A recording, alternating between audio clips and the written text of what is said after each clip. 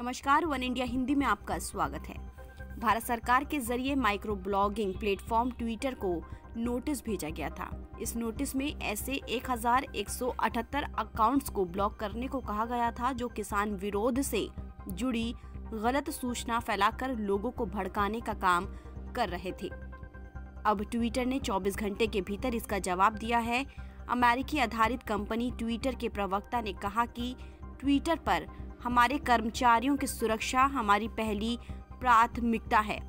हम भारत सरकार के साथ सम्मान की स्थिति से जुड़े हैं और औपचारिक बातचीत के लिए इलेक्ट्रॉनिक्स और सूचना प्रौद्योगिकी मंत्री के संपर्क में हैं।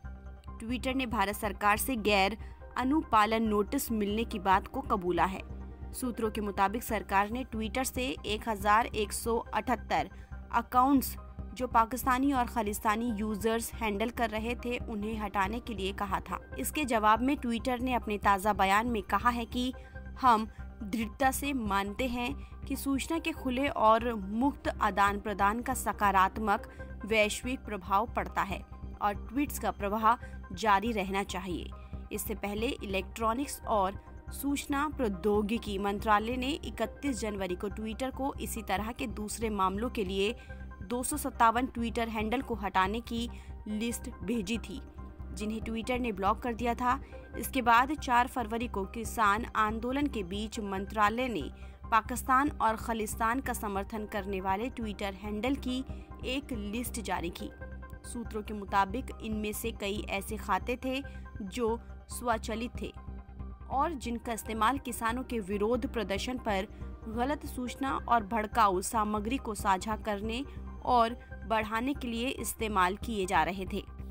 आपको बता दें कि कुछ दिनों पहले ट्विटर के सीईओ जैक डॉर्सी ने किसान विरोधी प्रदर्शन के समर्थन में विदेशी आधारित हस्तियों के ज़रिए किए गए कई ट्वीट्स को लाइक किया था।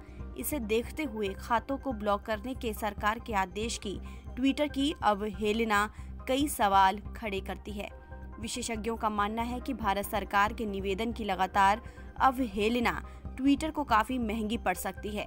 देश में ऐसे मामलों से निपटने के लिए कई कड़े कानून हैं। उन्होंने कहा कि एक टूल किट के सामने आने के बाद ये साफ़ हो चुका है कि तनाव से जुड़ी सामग्री को प्रसारित करने के लिए अंतर्राष्ट्रीय सिंडिकेट और पाकिस्तान जैसे देशों की भागीदारी है।